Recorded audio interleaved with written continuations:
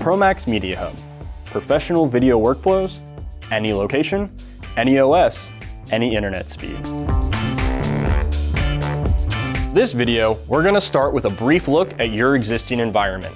Then, we're gonna discuss how Media Hub works in your environment.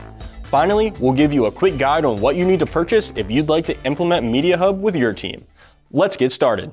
Since you don't currently have a centralized storage server, chances are you're storing data on a mixture of internal drives, external drives, and cloud storage. We find that workgroups like yours commonly use cloud-based tools like Dropbox and Google Drive to collaborate from different locations. If you're all in one location, you're probably just moving hard drives around. So let's take a look at how Media Hub improves your remote workflow. You start by providing a Media Hub to any creative user that needs to work remotely. Then, link your Media Hubs to each other. This allows you to sync project spaces between all users regardless of their location. The Media Hub's peer-to-peer -peer design allows each Media Hub to talk directly to every other Media Hub in the workgroup. This method avoids single bottlenecks such as cloud storage bandwidth limitations. Once projects are done, you simply remove them from the Media Hubs, keep them on whatever storage you'd normally archive projects to. It's important to note that data is replicated between the Media Hubs, and this is what enables collaboration. So if you have four 8 terabyte Media Hubs sharing the same sync folders, you have 8 terabytes of usable space, not 32. What all this means though is as an editor, you simply open up a project and work. If someone else is working on the project with you, they see the same things you do, the same data. They simply open up the project and they work. Updates are synced in the background and you get the benefits of a shared workflow regardless of location. Let's take a look at what you'll need to buy. For each remote user, there are two things you need to purchase, a Media Hub and a remote sync license.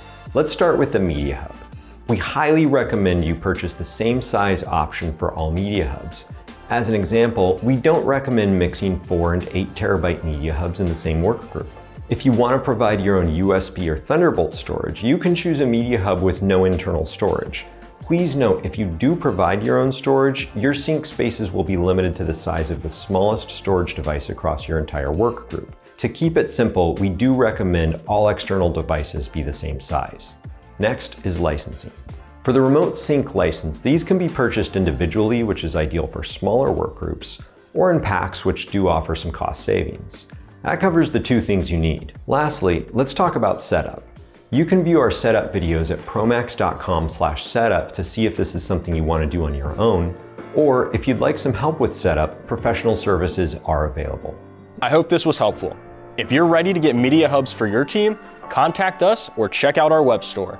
If you still have some questions, feel free to hit us up on chat or book some time with us at promax.com/questions.